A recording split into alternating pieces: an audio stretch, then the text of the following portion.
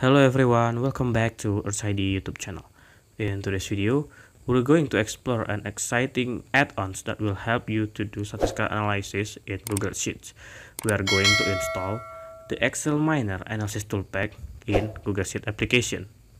Before we start the installation process, let's quickly discuss what the XLMiner Analysis Toolpak is and how it can benefit you.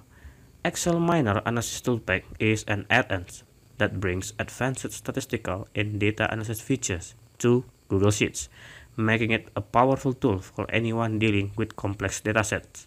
It offers a variety of tools for tasks such as descriptive statistic measurement, hypothesis testing, regression analysis, and many more. By using this add-on, you just need several clicks to accomplish the statistical analysis procedure. To install the XLMiner Analysis Toolpak, go to extension menu at the top. Select add-ons and click get add-ons. Wait for the dialog box that appear on your screen. And at the search apps bar just type excel miner analysis toolpack ah, okay click it. And we find it. XLMiner Analysis Toolpak just click it and follow the installation uh, process. At the overview uh, description you see that this feature have 19 interactive functions. Start from ANOVA, correlation, covariance, and hypothesis testing.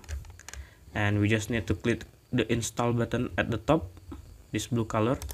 Just click it continue and follow the installation process by sign into your Google account uh, let me follow this process first.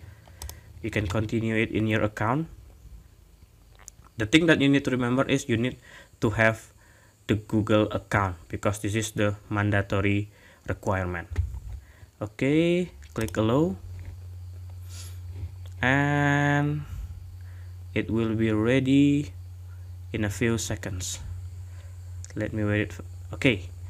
XLMiner Analysis Toolpak has been installed.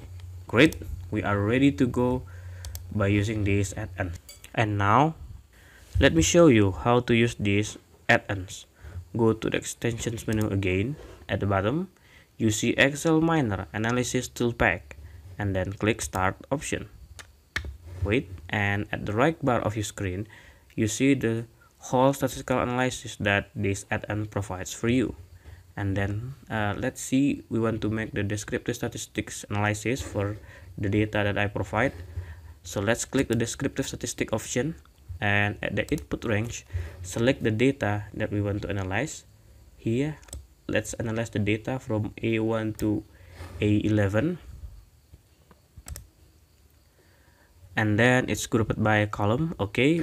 Because we have labels in first row we need to check it and then the summary statistic is checked.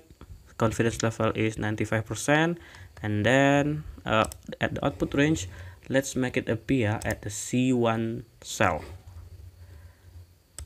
Okay.